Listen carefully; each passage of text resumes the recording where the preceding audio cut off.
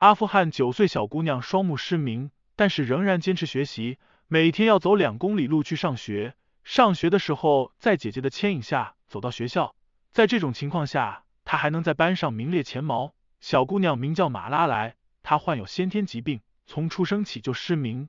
目前在阿富汗中部的奥鲁兹干省一所小学校读四年级。她热爱普什图文学，平时主要靠听力学习，老师讲过的知识她都能记住。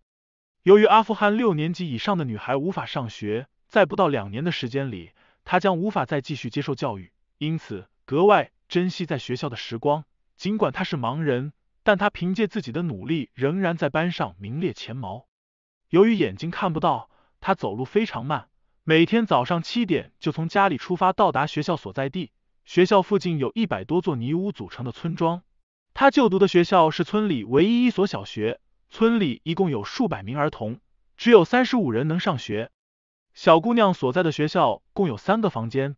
只有一个房间被用作教室，其他房间都是空的。课程每天七点三十分开始，每周六天，每天三小时。教室里一共有三十五名学生，二十名女生和十五名男生。班上的女生坐在前面，男生坐在后面。四年前，村子里才开设了这所学校。这名老师也是两年前来到这里的，他现在负责给学生上课，放学后还要照看学校。小姑娘马拉莱非常聪明，具有出色的学习能力。因为眼睛看不到，听力和记忆力非常出众。她能记住老师在上课时所讲的课程内容。她没有因为看不到东西而自卑，反而因为自己出色的记忆力而自豪。她最喜欢的科目是《古兰经》、历史研究和普什图文学。在课堂上，姐姐始终坐在马拉莱附近，这样她就可以在必要时提供帮助。放学的时候。在她十一岁姐姐的帮助下走回去。自从她开始走路以来，姐姐一直是她的向导。